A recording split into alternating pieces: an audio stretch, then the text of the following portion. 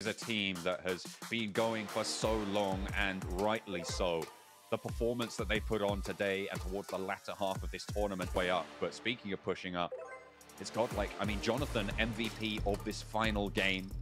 What a way to close it out. This guy has been a name on the lips of any Indian PUBG Mobile fan for years now. And what a way to finish it, getting that final MVP title in this final match. Absolutely. And for India, you know, this is a result, in my opinion, because they've not had chance to play against any of the other, teams. Getting invited here and putting on a performance like that, despite everything, is wonderful.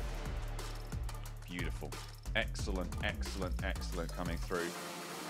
For Godlike to close it down as the way they go. But